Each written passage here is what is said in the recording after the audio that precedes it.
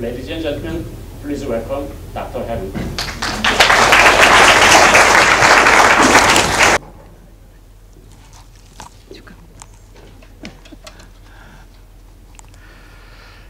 Uh, thank you so much, Professor Lee, for your kind, uh, very favorable presentation of me. That was too, too nice. Uh, actually, you told more than half of the stories I was going to tell. I think you should try to shorten my lecture today. But uh, most of all, thank you all of you for just being here. Uh, I feel overwhelmed and humbled to see many of you here uh, at this busy time of the semester. Uh, uh, it is always uh, so nice to, to be surrounded with such a supporting and colleagues and good students. And it is, in a sense, sad to leave you, but I'm not going to leave so soon. I'll be around for a while, so, so I don't feel the pain of leaving you uh, for, for a while at least. okay, a half century. Certainly, that sounds like a very long time, isn't it? Uh, but as you know, half century can pass very quickly. uh, yes, I've been uh, doing sociology for half a century. Actually, uh, a little more than that if I count uh, from the year when I entered sociology department at the Seoul National University in 1960. Uh, at that time, I hardly knew what sociology is about. I just wanted to become a journalist, and my high school teacher told me that sociology may be a good subject to major in. So I chose it. And the reason why I wanted to be a journalist is because I thought a journalist is a professional, intellectual profession. And more important, I thought the journalist can travel abroad. At that time, it was very difficult to travel abroad. And I had a great desire to, to just go outside of Korea and travel. And I thought, uh, becoming a journalist may give an opportunity for me. Uh, so I entered sociology department at Seoul National University. But at the time, in, in early 1960, there was not much teaching or learning going on, even such an elite university campus, the liberal arts college at Seoul National University. Uh, we had very few books to read, and the professors taught just straight from their old notebooks. Many classes were canceled without any reasons announced, and the students were busy demonstrating first against the Syngman Rhee's government, and then after that uh, against the Park Chung-hee's military government. Uh, uh, you may remember uh, the, the only uh, all the members sitting in, in this uh, room may remember the, what happened in April 19, 1960. Uh, that was when I was a freshman. And I remember vividly on April 19th, I was entering, entering the campus in the late morning, and I saw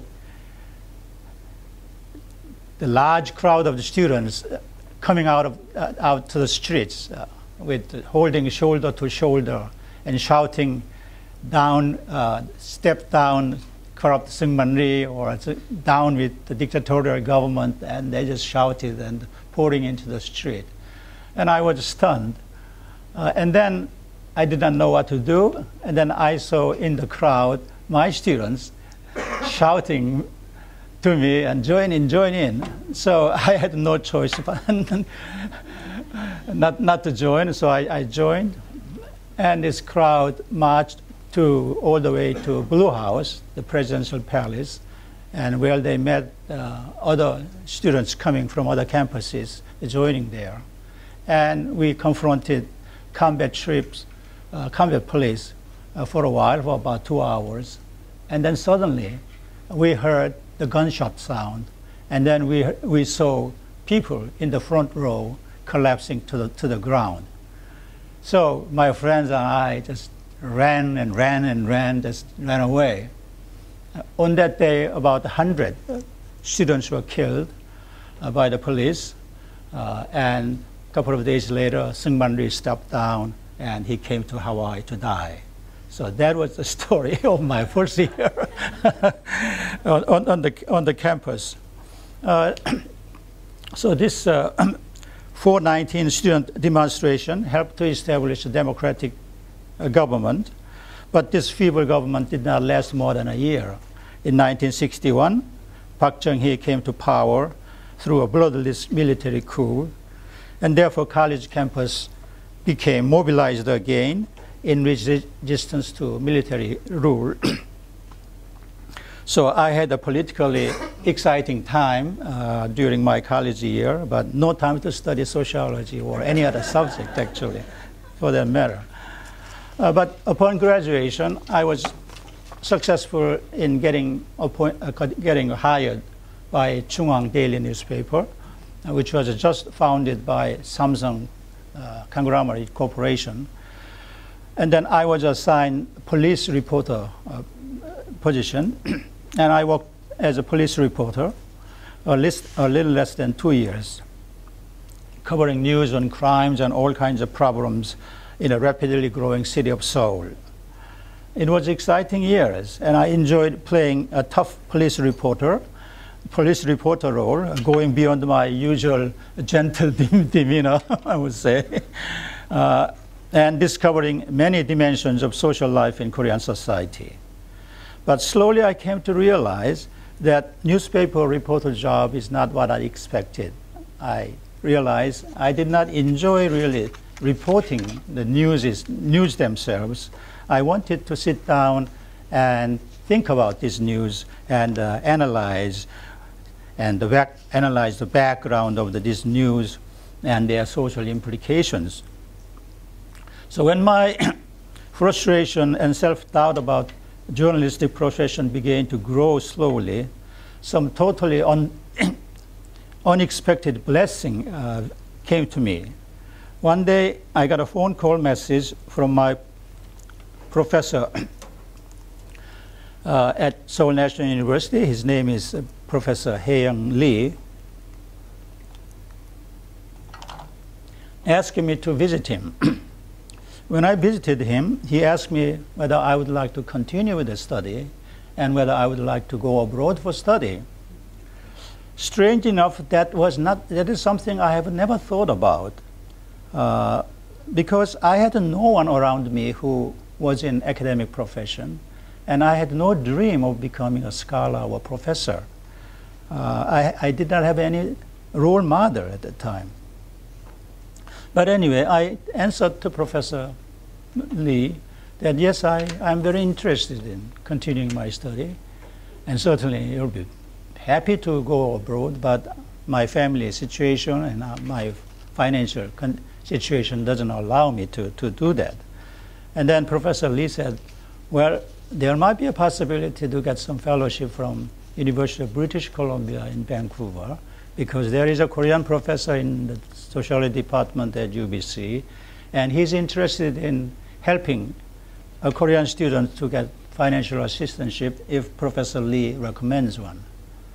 Uh, so he recommended me and I managed, luckily, to have received the fellowship and left newspaper job and came to uh, Canada. Professor Lee passed away a long time ago, uh, but I can never be thankful enough for what he did to me. Uh, he is the one who opened the door for me to academic career and to sociology profession. anyway, I was able to receive the fellowship from UBC and left ca to Canada. So mm, my sociological career started at UBC in 1967, so exactly 50 years ago. I was happy when I arrived in Vancouver. Such a beautiful city it was, and a huge difference I witnessed between the country I left just now, still very poor country, and the affluent and civilized country that I arrived in. In fact, it was at the UBC dormitory I came to use the Western toilet, Western style toilet for the first time in 1967. More impressive to me was seeing that hot water flowing out of the faucet. In 19, in at least uh, by the time I, I left, Korea did not even have cold running water easily available to many people. Or how much I enjoyed taking hot shower every morning in the dormitory. I was so happy that I sometimes sang a song while taking shower in the dormitory. So I became a very popular guy in the dormitory, actually. but academically, I had a hard time because I came with a little sociological knowledge and poor English. But luckily, my newspaper experience gave me many sociological insights and helped me, helped me to compose my arguments clearly and at least logically. The first sociological research I undertook at my MA, eh, as my MA thesis was on the student movement in America. As old members, older members in this audience know very well, the 1960s was a period of active student movement in the United States and Europe and also in Canada. It started in Paris first and then moved to the US and then University of California Berkeley campus became the leading center of the movement. Coming from Korea with the 4 April student movement experience, I was naturally very intrigued and interested in the movement it was hard for me to understand why these guys in such an affluent and democratic country were engaged in mass demonstration. My first reaction was that they might be just spoiled guys with no understanding how lucky they are compared to people in other countries. But slowly I came to realize what they were demanding was more genuine democracy, which means restructuring power relations in every sector of the society. So I tried to analyze documents published by Berkeley Speech, Free Speech Movement to examine how students activists conceptualize ideal power relations. But it was a little too ambitious project for me, given my level of English and my concept, conceptual uh, and methodological skills at that time. So Unfortunately, I could not, I have to confess, could not complete my master's degree before I left U UBC.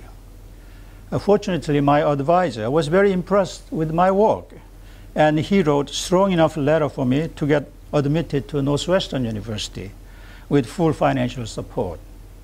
Northwestern University department at that time had several well-known uh, professors interested in social change in third world countries, so an ideal place for me.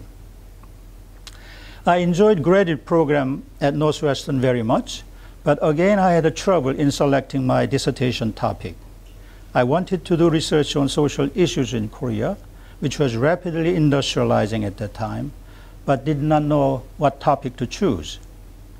Then again, by a happy coincidence, my professor at Northwestern told me that there is someone at University of Hawaii Manoa who is a Korea specialist and is looking for research assistant who can administer his survey on rural urban migrants in Korea.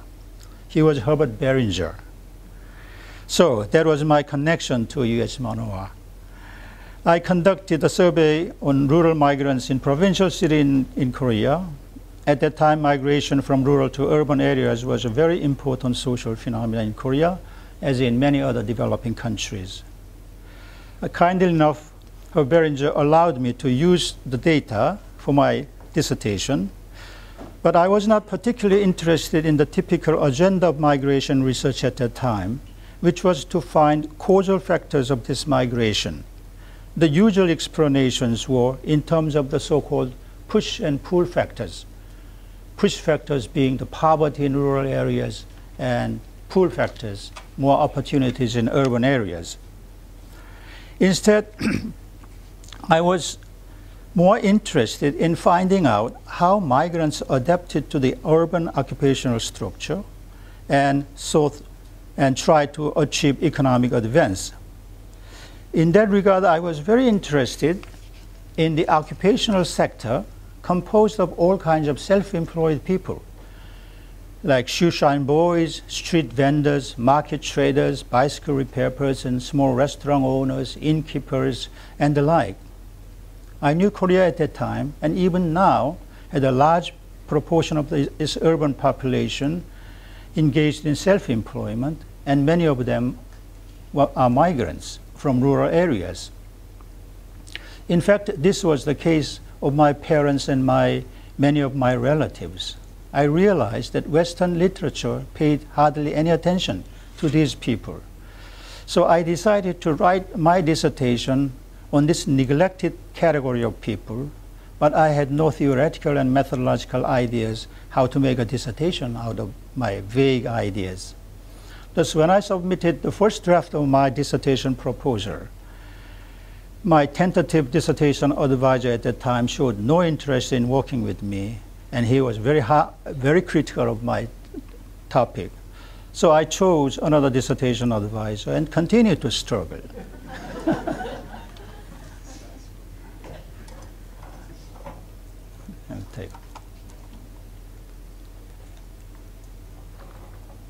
But gradually, I came to develop a clear idea about two important functions of self employment in a developing country.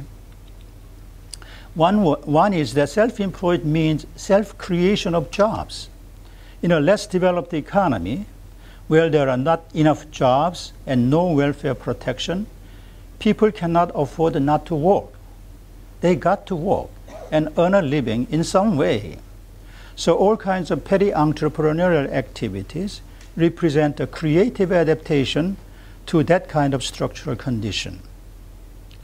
Another function is that small business provides a channel of upward mobility for many people who are handicapped in terms of education, migrant status, or other factors.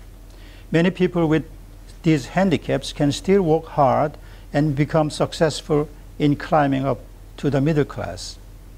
By the way, this is the way why many urban, many ethnic migrants in the United States or elsewhere enter small business.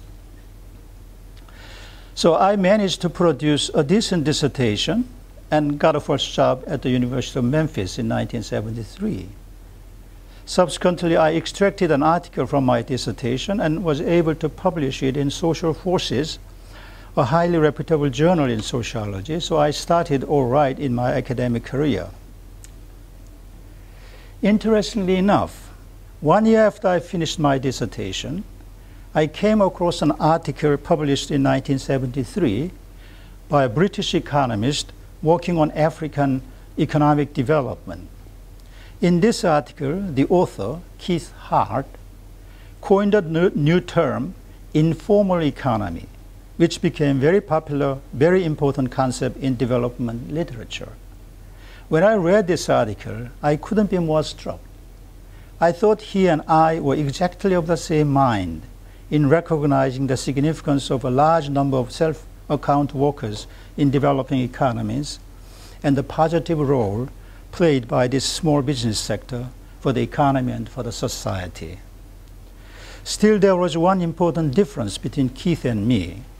As an economist, he stressed the positive role of informal sector for economic development in less developed countries, and he criticized the policymakers and international donor organization for focusing too much on the formal sector, neglecting the informal sector. On the other hand, my argument stopped at pointing out social functions of the same economic sector without making any powerful policy recommendation. So this experience made me realize that economics, after all, enjoy a higher status than sociology in academic ranking. Alas, I, it was too late for me to switch to economics. but I have no regret. I love sociology, and my genuine interest is always in sociological issue. But anyway, my salute to economists who sometimes make very powerful knowledge good for society, although many economists do the opposite, I, I think. The 1970s and 80s was an exciting period for scholars working in the field of third world development. On the theoretical frontier, there were important theoretical shifts in the development literature. Until that time, the dominant theoretical approach was what was called modernization theory, which looks at human societies moving along a single evolutionary path toward modernization, in which the Western developed societies provide a model to follow for the underdeveloped countries. Thus, modernization theorists assume that in order for less developed economies, developed countries to achieve modernization, they must abandon their tradition-bound attitudes and adopt the value system and institutions from the advanced Western societies. When I was studying this theory in my graduate years, I was instinctively resistant to this Western biased view of history, but I did not know how to criticize it. Then from the 1970s, uh, Uh, from the early 1970s, this conservative theory was challenged by dependency theory developed by Latin American scholars. This theory turned modernization theory upside down, arguing that the reasons why Latin American economies were underdeveloped was mainly because their economies were dominated by the United States and were prevented to pursue more independent and healthy course of development. Around the same time, Immanuel Wallerstein and his colleague in the United States developed a similar but more broadly conceptualized world system theory. Wallerstein argued that capitalism is basically one system with its own logic and mechanism, and it is composed of three categories of economies core, periphery, and semi periphery. Like dependency theorists, world system theorists argue that core periphery relations are basically exploitative relations and that scarce resources flow from the periphery to the core economies. I found these theories very interesting and tried to engage with them by bringing the East Asian cases. I thought East Asia's newly industrializing countries shared some similarity with Latin American dependent economies, but East Asian economies, of course, somehow managed to achieve rapid industrialization and were moving from the periphery to the semi-periphery of the world system. I published a few articles in which I tried to explain this puzzle by pointing to certain unique internal factors of East Asian countries including the existence of strong state, the successful destruction of the landlord class, and strong nationalism, and the existence of well-educated and disciplined labor force and the like. This was a period when I developed contacts with several sociologists working on the political economy of Latin American uh, development. but a more important development that occurred since the 1970s and which was important to me was the rise of East Asian economies. Following the footsteps of Japan, four East Asian economies, including South Korea, Taiwan, Hong Kong, Singapore, adopted export-oriented industrialization in the 1960s and ha had achieved rapid economic growth since then. But it was not until the early 1980s that their development pattern began to attract great attention from economists and sociologists in the third world. By that time, the development pattern in the so-called East Asia's Gang of Four or Four Little Tigers, uh, Four Little Dragons, uh, became a big subject of debate among developmental scholars. The question was, what made this East Asian economy so successful while the rest of the third world countries remained in poverty and underdevelopment? The answer, the answer was not simple, but developmental scholars were divided into two camps. One group represented the neoclassical economists who hold the tenet that economy can prosper only if it is allowed to operate according to the free, according to the free market principle with little government interference as, as possible. They believed that the four East Asian tigers were able to achieve such rapid economic growth because they adopted export-oriented industrialization strategy, which fits the, their comparative advantage in the world market and because the government did not meddle with the economy. The state policies that were implemented, in their view, were generally market promoting rather than market distorting policies. But this kind of explanation was not convincing to many people who had a better knowledge of what was going on in East Asian economies. What they saw in the East economy was that the state, the extensive intervention of the state in the market, the state was more than a regulator or a referee in the economy, but the main player and the goal setter and enforcer of the rules in the economic gain.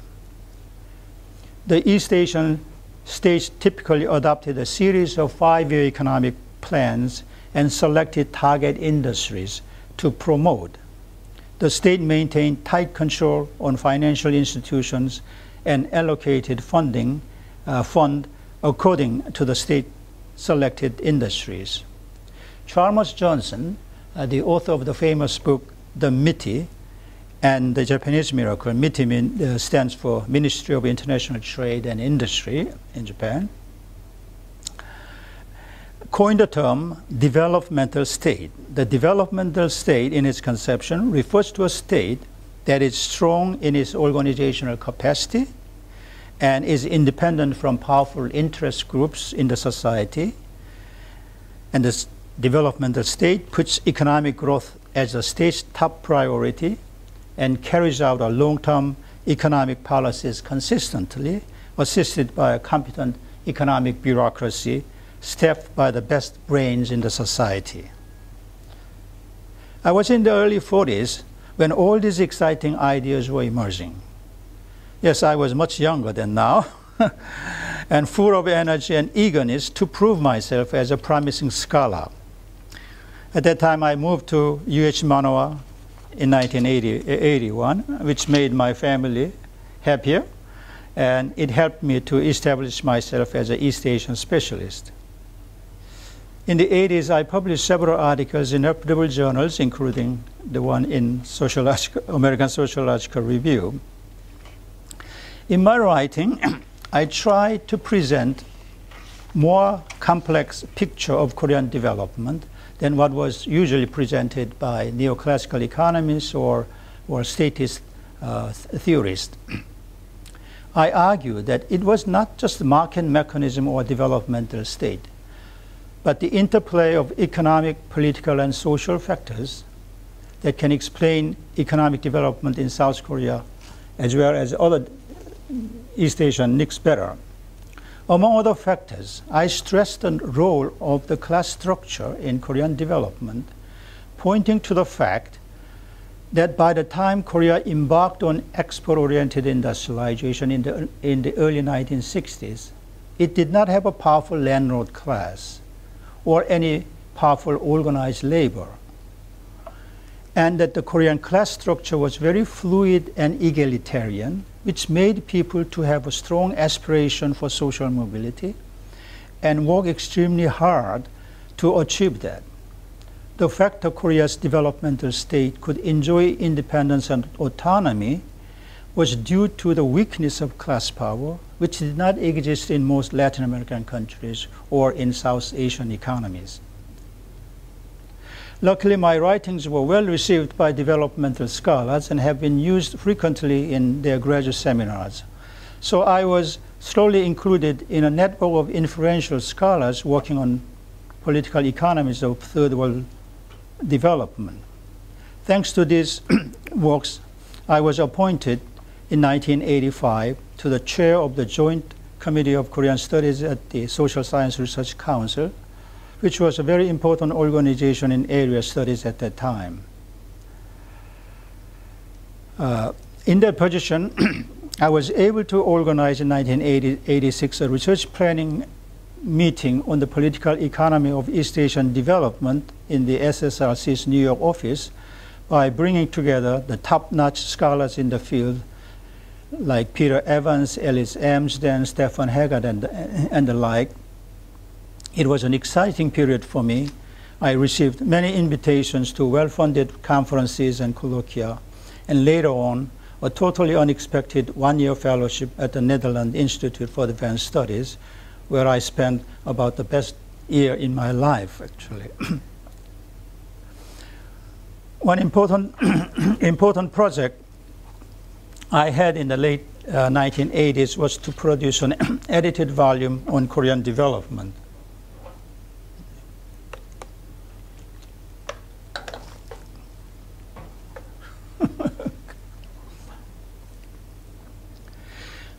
Despite a growing interest in Korean development, there was absolutely absolute paucity of books that represent a well-informed analysis of social and political development in South Korea during the developmental decade. As a chair of the SSRC's Korea Committee, I felt the responsibility to produce one such a book. So with generous funding from the SSRC, I was able to put together an excellent team of scholars in the field, including Carter Eckert and Stephan Haggard at Harvard, Bruce Cumings at Chicago, che, Jangjip Choi and Woo Chang Kim at Korea University, and Chung-in Moon at Yonsei Universities. They are truly the most distinguished scholars in the Korea field, so we were able to publish a highly successful volume titled State and Society in Contemporary Korea, which Professor Lee Sang-hyup mentioned. Around the time we published this book, there occurred another important theoretical development in social sciences. In 1985, a well-known Harvard sociologist, just Theda Skocpol and UC Berkeley's Peter Evans published an edited volume titled Bringing the State Back In.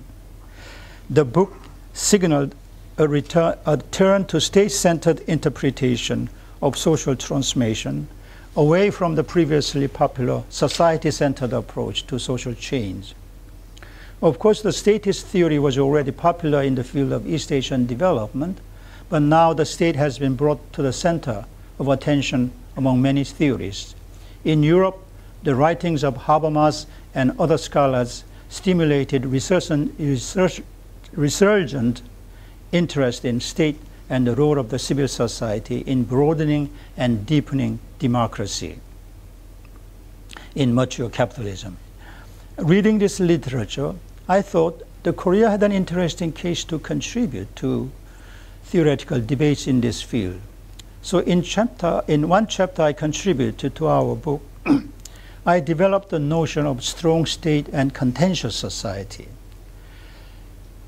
I challenge the common assumption held among European and American scholars about the typical state-society relations in, in, East Asian countries.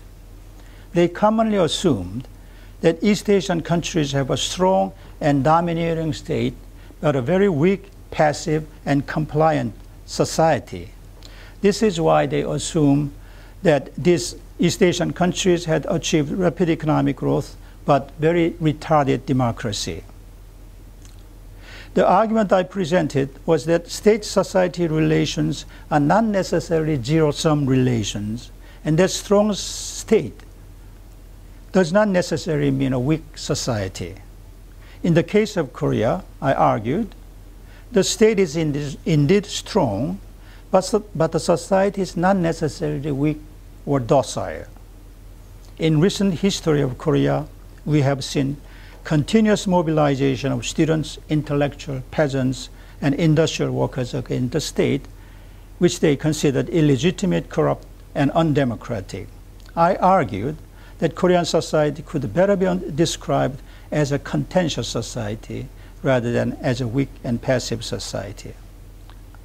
I'm still pleased that I coined that term. that was the only my own invention of one concept which was well accepted.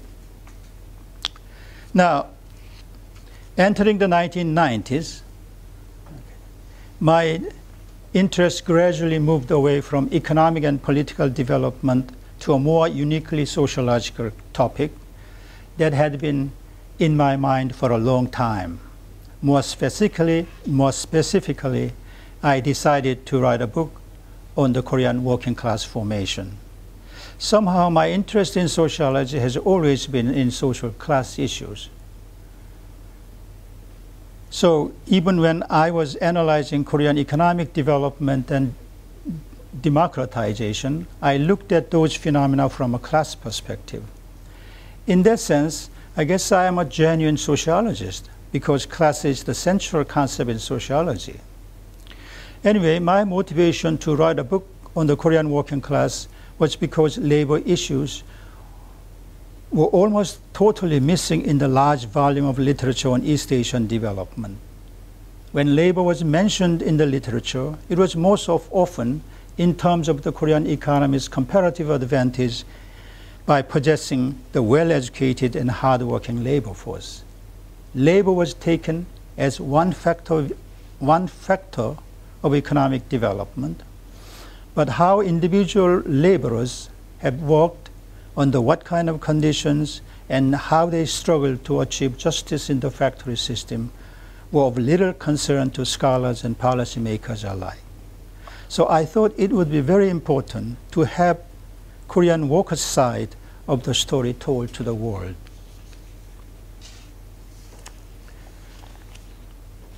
Another motivation for my book on the Korean working class was the book I read long time ago during my graduate school days at Northwestern University. It was The Making of the English Working Class, written by a British Marxist historian E.P. Thompson. This was truly a magnificent book.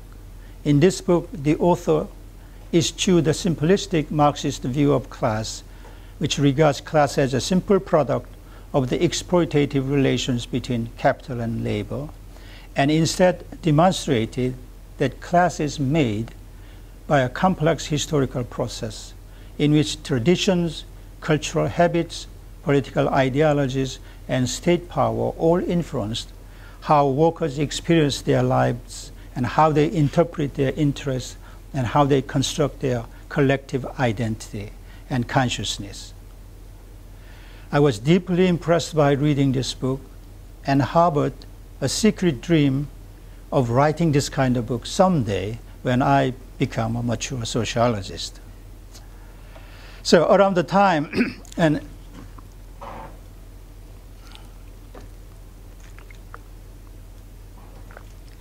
Around the time when I read E.P. Thompson's book, there occurred a shocking event in Korea. On November 13, 1970, a young tailor named Chun Tae-il committed a suicide by putting himself on fire in protest against inhumane condition in the factory. While his body was engulfed in fire, he shouted, "We are not machine. Let us rest on Sunday, abide by the labor laws. Chun's death provided the watershed for the emergence of the grassroots labor, labor struggle and the involvement of students, intellectuals, and progressive church groups in the labor movement. The way Korean working class movement has developed since then was dramatic, interesting, and I'm very glad I decided to write a book on this book. It took 10 years for me to complete my book titled Korean Workers with a subtitle Culture and Politics of Class Formation. As I look back, my first article on labor related topic was published in American Sociological Review in 1990, and my book was published in 2001. So it exactly take, took uh, 10 years. Of course, I did not spend all the time on this sub subject. I was still working on the topic of Korean political economy and state society relations. But I did spend lots of time collecting data and interviewing many workers and labor activists, some of whom became prominent politicians like Sim Sang-jung, uh, who was a presidential candidate for the Labor Party in the, in, in, in, in, the, in the election two days or three days ago. Uh, through this research, I learned a lot about so much pains the Korean factory workers had experienced, so much injustices going on behind the facade of Korea's economic miracle, and so much courage and self-sacrifice many students showed through their involvement in labor struggles. Okay, I'm almost finished. but if you're not too tired by now, may I tell you a little more about my what my book is about? uh, Professor Lee said it's a very interesting book you must read. this book is not not really about Korean labor movement. This book uh, describes how the new independent movement was developed since the 1970s through the end of the 1990s. But my real interest is not in the union movement, but in the Korean workers' experiences in the process of industrialization, how they adapted to the new world of factory work,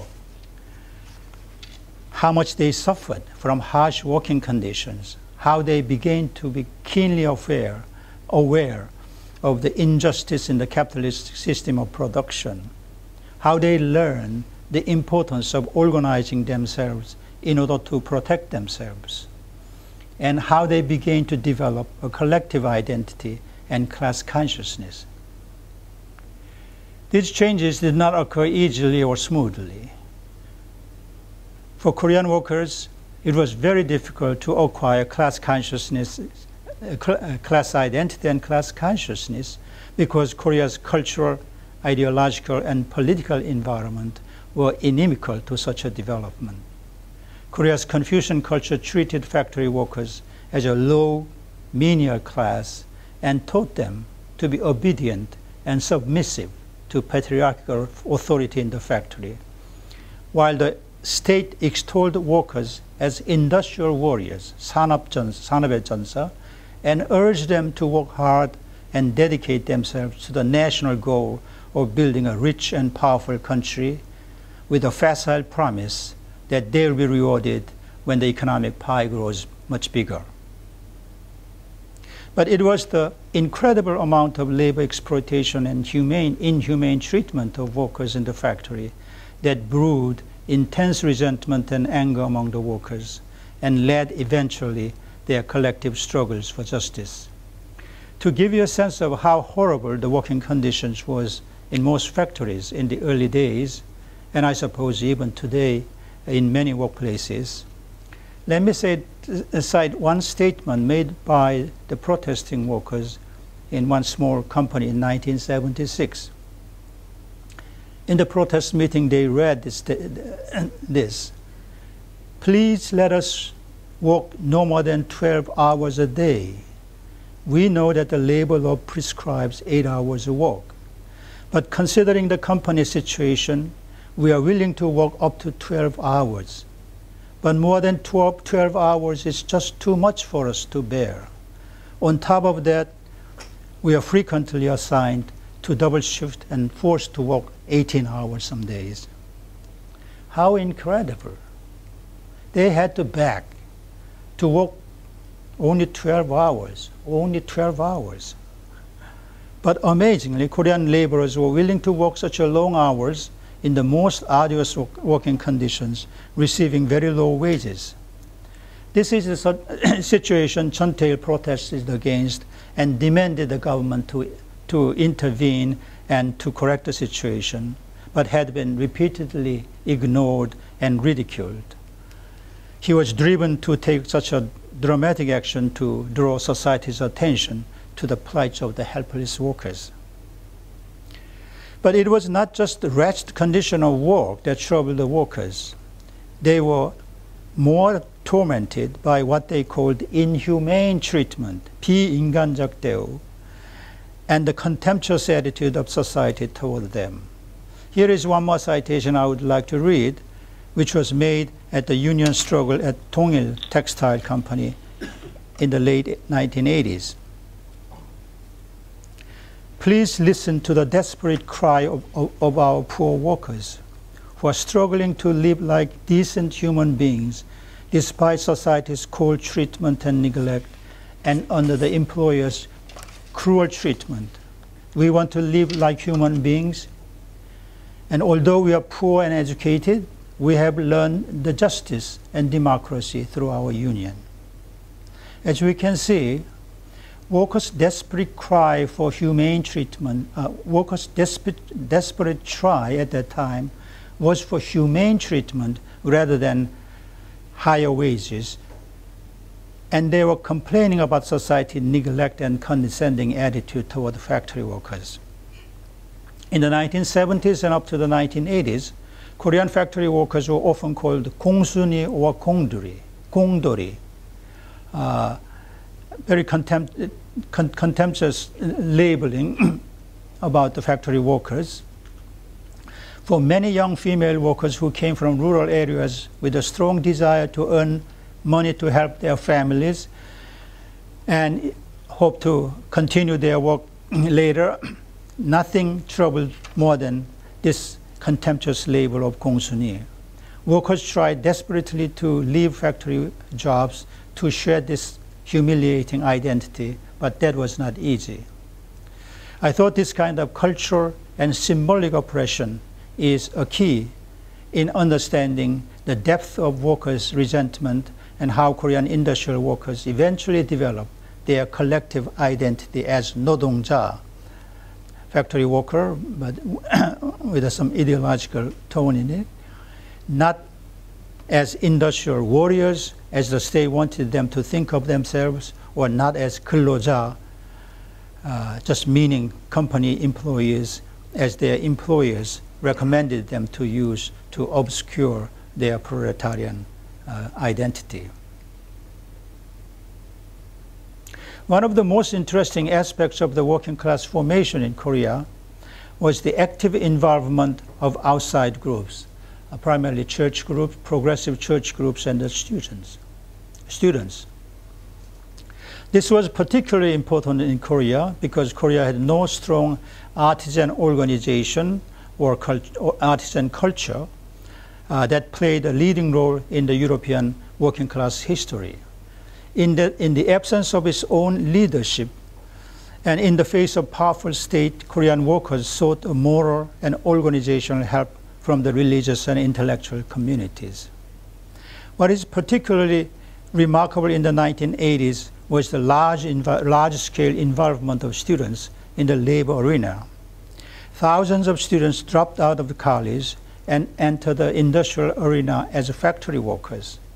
They had to hide their identity and worked as normal workers, enduring all the abuses and humiliations on the shop floor. But their chief motivation was to raise class, class awareness and political consciousness among the workers and to channel workers' protest, workers' resentment toward democratic union movement. Understandably, these students turned workers who were called disguised workers by the government had to sacrifice tremendously. Many were expelled from their schools, although they were mostly elite school students. They were blacklisted for future em employment. They were often imprisoned and tortured. And most important, they had to give a deep disappointment and agony to their parents. But amazingly, that was the dominant student culture during the Chun Doo-hwan period in the 1980s. The generation called 36386, uh, 336 uh, was born in that political cul culture. Eventually, the broadening alliance among students, workers, and distant intellectuals led to the downfall of the Chun regime in 1987 and to the massive uprising in the fall of that year. The new chapter of the Korean labor movement, movement started from that time on, but my book finished at around that time. I ended the book with my observation that the Korean movement, uh, union movement, was at the crossroad. It could develop as a genuine working class movement and work for the welfare of the entire working class and for the deepening of economic and political democracy. Or alternatively, it could develop as a narrow interest group working primarily for the privileged workers in the large companies, neglecting the interest of other privileged workers. sadly, the way Korean movement has developed since then betrayed the hope of many of us had in the earlier days. Anyway, as for my book, it was well received. It received the book award from the American Sociological Association, and it was immediately translated into Korean, Chinese, Japanese, and Thai. And this book was also brought to me a stream of lecture invitations from many universities in the United States and abroad. Uh, most honorable, I would say, was the invitation from Harvard University and Brown University as a speaker in their distinguished lecture series. But the most memorable lecture I gave was at the Beijing University in 1910. Invited by the Beijing University Students' Organizations, I gave a lecture in a large auditorium of 200 person capacity with a completely filled up enthusiastic audience. It is because labor condition in China today is very similar to the 1980s situation in Korea. And Chinese students are agonized about what they could do about it. They are very inspired by the courageous Korean students in the 1980s, but find their political control in China today too prohibitive. So, that's the story of my life. I had a good life in many ways and I thank God for that. I am particularly grateful for having been a professor of sociology. I have a genuine passion for sociology, and having been able to work in this profession for a long time, surrounded by good students and good colleagues like you, was a great, great blessing to me. Moreover, I feel extremely fortunate to have worked as a sociologist during the time of Korea's great transformation. Korea's dynamic transformation in the past half century constantly brought all kinds of inspirations for my research and writing. Although I'm retiring from active teaching, I hope to continue my research and writing, not on labor issues anymore, uh, but on broader social changes occurring in post-industrial and globalizing Korea. Currently, I have a book near completion on the Korean middle class. So that will keep me busy for a while, and I'll be around for a while with you guys. Thank you so much.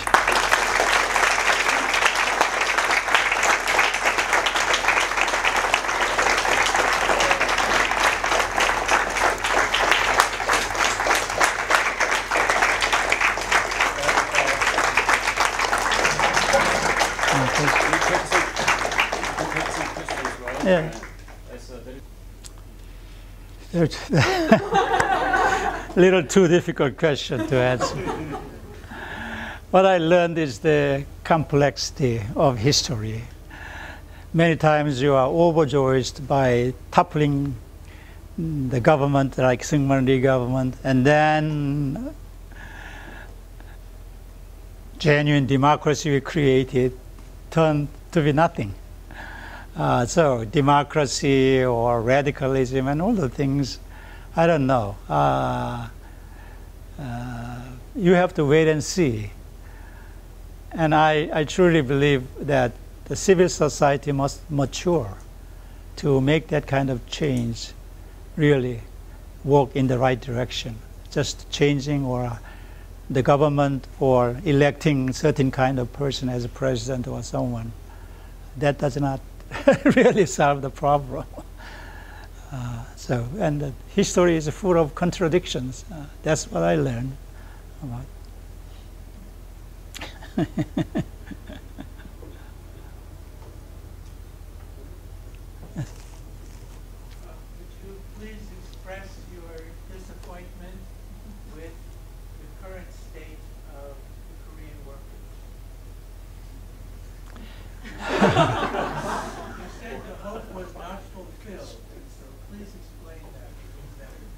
Yeah, as I, as I said, there are two ways the, the labor movement can develop. As a labor movement for the entire working population, uh, or as a union representing employers of certain companies, certain corporation, or certain industry like that. Unfortunately, Korean unions developed from the 1980s as enterprise unions. And it was because the government wanted to have the unions like that, because it was, they found more easier to control. And they was afraid of powerful industry-wide unions occur. So they just broke down the unions into enterprise unions. And then after 1987 democratization, then what happened is that workers in large heavy chemical industries like Hyundai, uh, automobile industry, Hyundai shop, shop, shipbuilding industry, and, and other con conglomerate forms, uh, they have built a very powerful unions, uh, and they are primarily concerned about the interest of their, their workers. And especially in, in the recent time with the neoliberal restructuring of the economy, job security becomes very, very serious, even for the white collar workers and even for the workers in large companies. So unions are more narrowly uh, oriented to protecting their workers, and union leaders can be elected only if they cater to their workers uh, rather than uh, the broad segment of the uh, entire population of the workers. And then in the labor market, many companies implemented the flexibilization policies and created many temporary jobs, daily jobs, and irregular workers.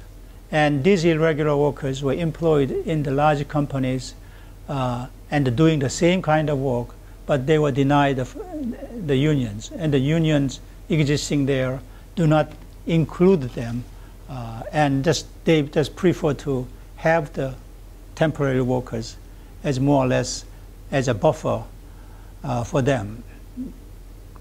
So uh, for variety of reasons because of the interest of the and then and then large companies find it uh, big conglomerate companies uh, made enough profits to use their profits to uh, to keep the union members passive and docile. Uh, so they are willing to pay pretty good wages for these uh, these unionized workers. Uh, and then union workers cooperated with the large firms and allowing uh, company to use many subcontract workers and irregular workers. So somehow the interest of the, of the government and the big corporations and the unions collaborated and created this kind of uh, union movement. So this is a very, very difficult situation to change, and that is a very unfortunate uh, phenomenon. And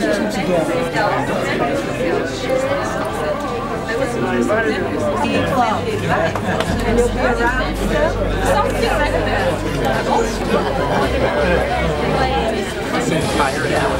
now.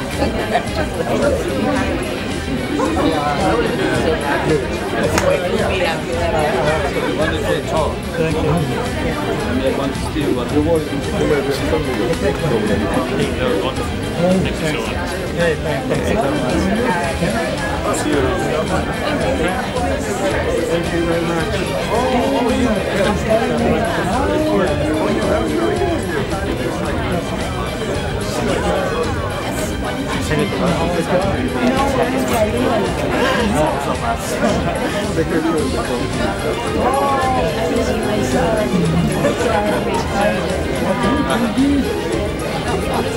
heard of it.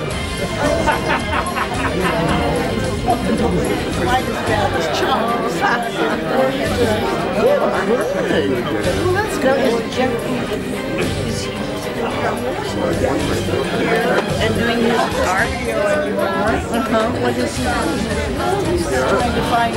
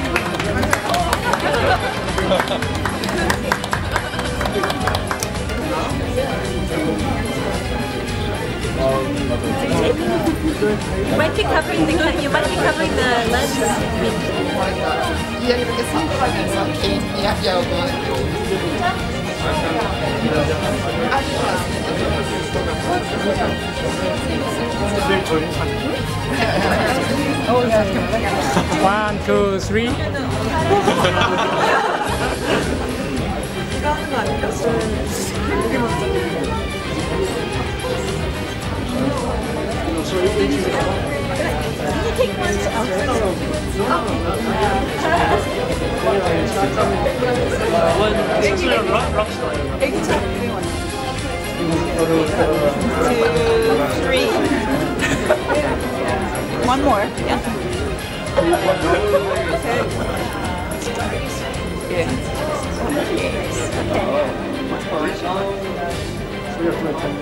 Okay. Take one.